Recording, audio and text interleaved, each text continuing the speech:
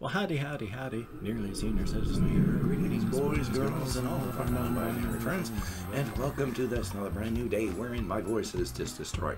It may not sound as bad to you as it does to me. I explained how bone conduction, how water travel, how water, air, sound travels through water, and so you do not sound the same to you as you do to other people. So my voice sounds terrible to me, and it sounded awful all, do, all during my recording yesterday. But when I went back and listened to it, I sounded 90, well, 75% okay. So hopefully I sound okay today. Because yesterday I took no cannabis at all before I recorded. No flower or bud, no concentrate. Today I had three hits of reclaim mixed with actual concentrate inside of it. Because if I get concentrate that's too difficult to put on a dab stick, I'll just mix it in with any reclaim that I happen to have to bump up the THC of the reclaim. So I had that this morning. My voice box is irritated because of the pollen and irritated because of the oil dab. So thumbs up. Thank you. I'm very sorry.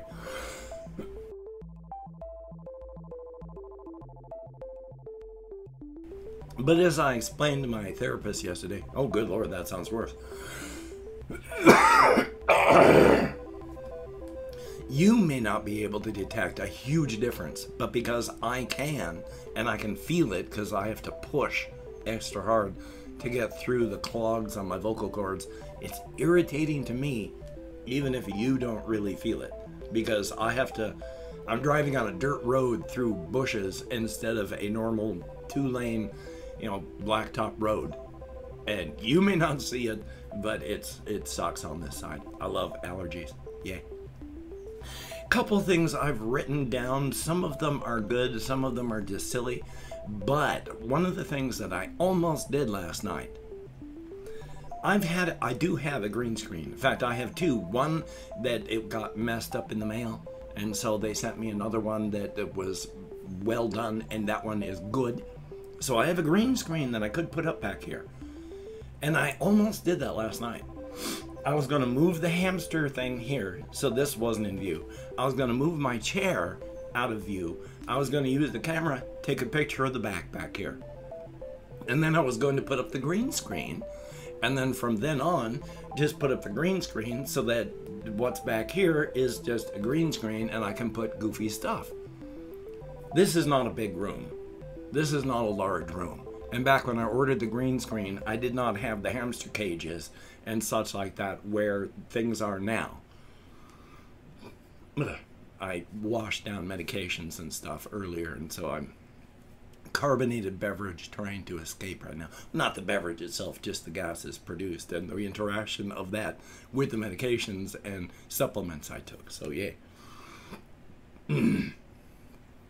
so I don't have a a, a ton of room. I could put the green screen up back here, but then I'd really have trouble getting over onto that side, around it, and then there just wouldn't be room here for the door to open. And green screens, if you get the kind that hang, they're the cloth inside of a big metal hoop. They're like 10 feet tall by, you know, like uh, 8 feet wide so it almost touches the ceiling when I hang it, and it's like this far above the floor, and it's just there's no real room the way I've got things set up. So right now, I'm not going to green screen in that fashion. Who knows what'll happen? Now, the big thing that's got me irate at people and uh, just exasperated.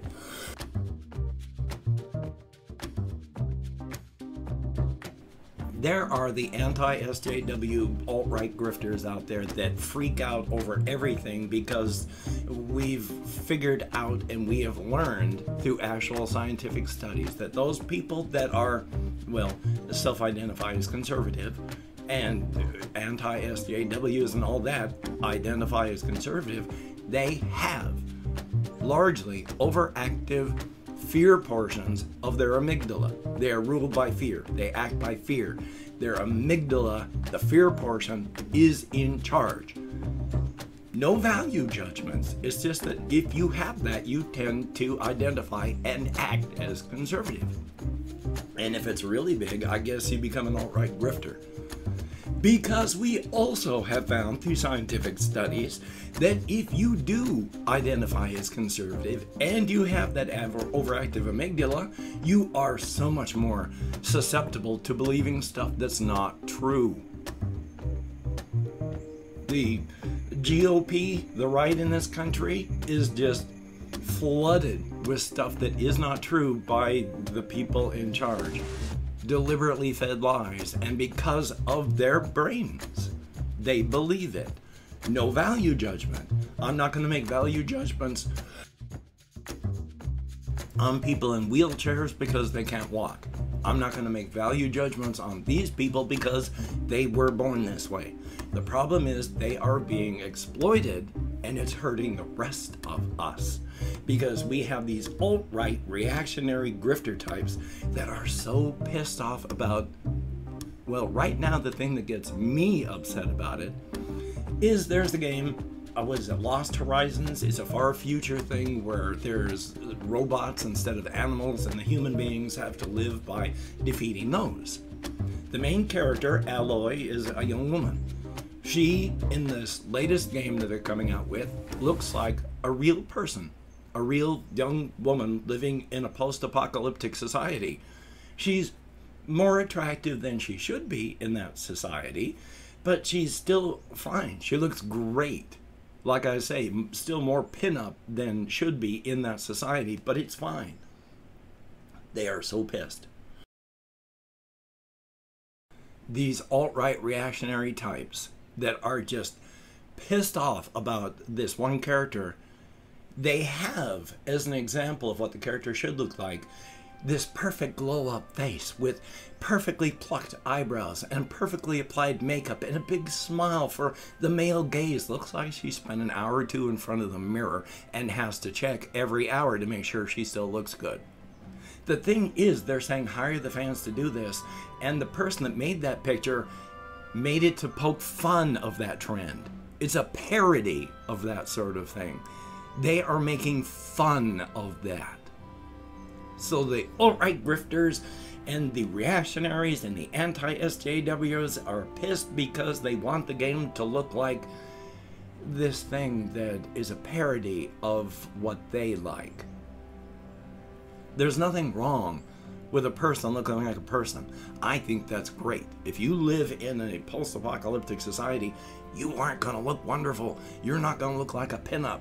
She should look like just a normal person instead of, and the thing they get pissed about, if any female character in the game is not absolutely 100% over sexualized,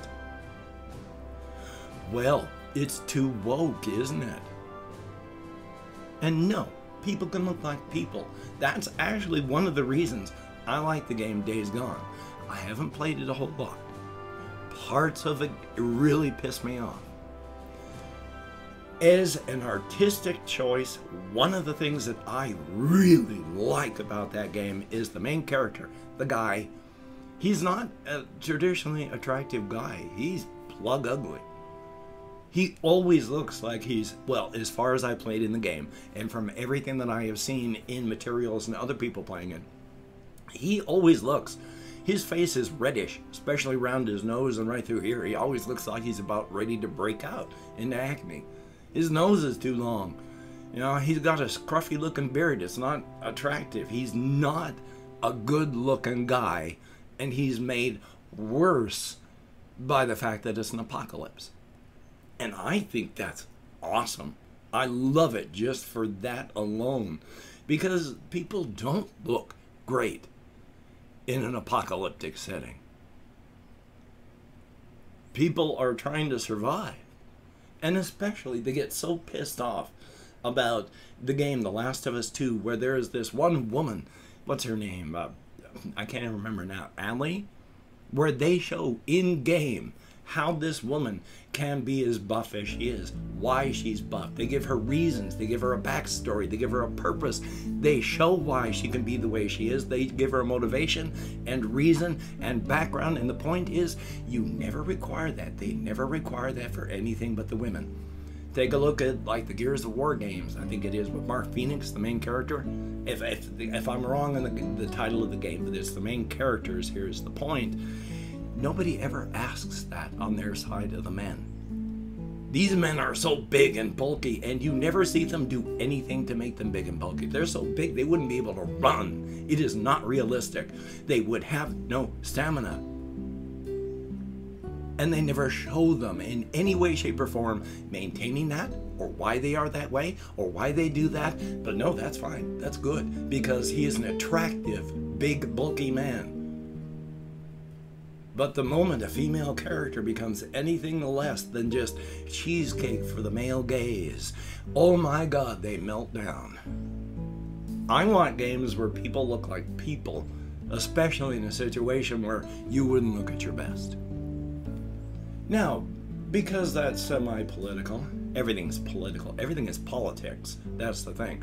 You talking to somebody at a countertop at a grocery store for five seconds is politics. It's people. Politics. It's just, it's codified for government. But politics is everything.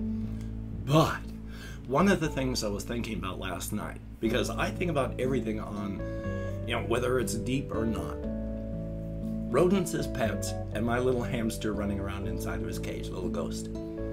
The thing is, hamsters aren't really domesticated. They're in a weird half state. They're not really tame, but they're not really wild in the state that we get them now. Because the United States climate and weather is not their natural state. There are desert creatures, but they can't really take too much heat anymore. They're in a weird state. But even at that, if you have a hamster as a pet, hamsters do not require human contact other than as a pet. You know, you need to keep them fed and watered and clean. So you got to clean their cage and do stuff, but they don't need to be interacted with. They are perfectly happy if you provide them with their needs living by themselves in a cage with no interaction with you at all. And we're people, we're independent organisms. We don't need pets. But if you do, Uh, with a hamster, you don't need to interact with it. You can just keep it in a, a, cage so that you only look at it. And that's fine. That's a perfectly valid way of keeping a pet.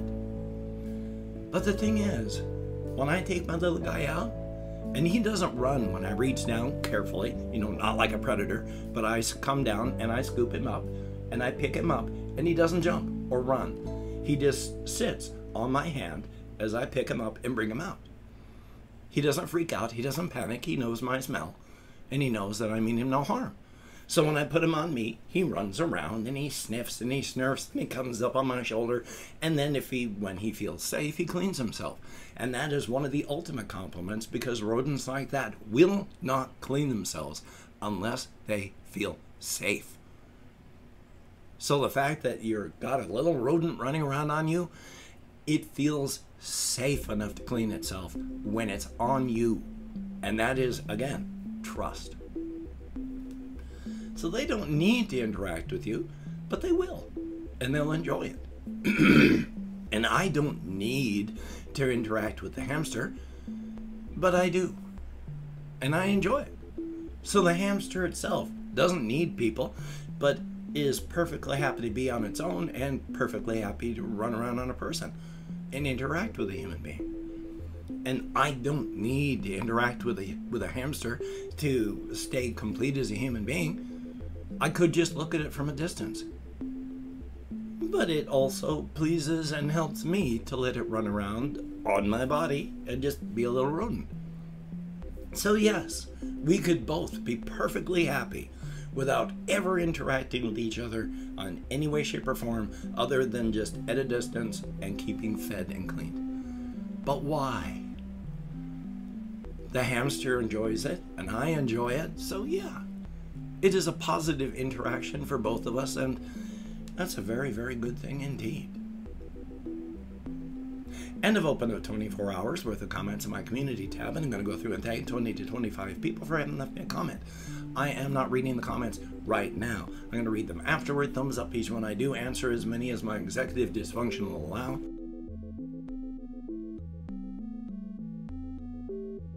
Again, you may not hear it, but I can feel it and ugh. But as many as my executive dysfunction will allow, and if I mispronounce a username, no disrespect is intended. I am an American English speaker, and even though I count American Sign Language on the fingers of this hand with my depression, fibro, uh, occasional cannabis use, occasional cannabis use, I have issues with short-term memory. So, do the best I can. Thumbs up for that. Let me call up my Chrome here. Oh, I feel like I'm going to burp. Ugh. We have Fiza Chic, thumbs up and thank you. Trucker Rob, greatly appreciated. Jason Damons, thumbs up. We have Ricky Bettini, greatly appreciated. Confused Owl 29, yeah, watch yourself when you go through doors. It's it's amazing. Adrian Bryan, thumbs up and thank you. Dick Spit, thumbs up and thank you much. It's okay, greatly appreciated. DVR03, uh, hopefully my uh, DMing you on Twitter hasn't been annoying. We have F. Garrido, 1741, thumbs up, and Johnson Dergs, greatly appreciated. Colin Reisnauer, thumbs up. Sebastian Ferris, always good to see you in the comments. We have Skyscraper GD, thumbs up. Potato Tron, always good to see you in the comments. Oh, I meant to talk about the phone. Yeah, I still have the phone. It's just the whole SIM thing and the situation I was in. So. And then we have Silver Fang 45 and Kapaki, always good to see you in the comments. And then there's Yusuf Zybar. I ended up spitting there. My apologies, and hopefully I got close. Marco Veer, thumbs up and thank you.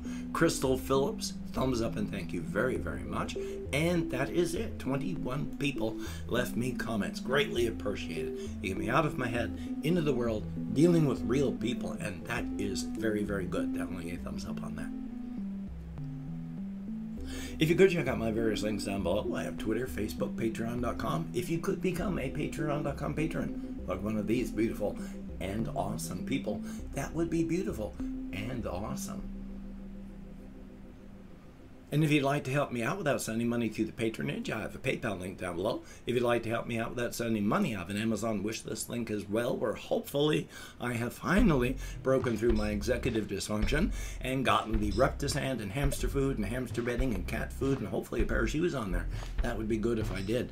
If you could check it out, that would be great. Do not feel obligated. I do not feel entitled. And if you cannot donate, or you simply do not donate, I take all good wishes and I deposit them in the bank of my heart where I draw interest. So thank you very much. And if you could toss me a like, I appreciate all the positive validation get from my existence, the definite thumbs up. And of course, if you could hit the notification bell on the subscription button, that would be very cool. Definitely a thumbs up on that. Well, so hokey smokes. I've got a day where hopefully I'm going to find. I talked with my therapist about this yesterday, where again, it's because I've never made up any habits before, I don't have any right now. So I need to start making them. I need to start making to do lists. So I'm going to hopefully get some phone calls done today. I'll hopefully get everything I need to get done. So, whether or not you are vaccinated, if you have to go out please be careful around crowds because the unvaccinated are going to use this whole don't mask yourself if you're vaccinated as an excuse to mingle without getting vaccinated. So if you're in that sort of situation, like in the US, please be careful. Wear a mask if you can. Practice your social distancing. Wash your hands. Try not to touch your face. Get a vaccination if you can. It's a good idea. Please be careful please be safe. It, it's just, just be smart. It's a good idea. So, you take care. Have a great day today. I will see you on the flip side, and that is a definite thumbs up. How about that? That was amazing.